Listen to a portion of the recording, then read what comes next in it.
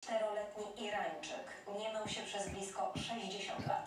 Jadł padlinę i pił brudną wodę. Zmarł kilka miesięcy po tym, jak dał namówić się na kąpiel. Wujek Hadzi, bo tak właśnie nazywały go irańskie media, mieszkał w wiosce na południu prowincji Fars. Jego charakterystyczny wizerunek człowieka pokrytego sadzą interesował media z całego świata. W 2014 roku mężczyzna opowiedział dziennikowi The Teheran Times o swoim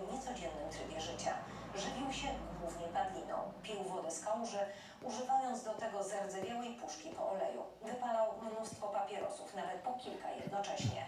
Pomimo tych nawyków na ogół cieszył się niezłym zdrowiem. Na początku tego roku 94-latka odwiedzili lekarze z Teheranu, którzy wykryli u niego tylko włośnicę, czyli chorobę bakteryjną spowodowaną jedzeniem surowego mięsa. Mimo to mieszkańcy wioski wielokrotnie namawiali go, by się umył.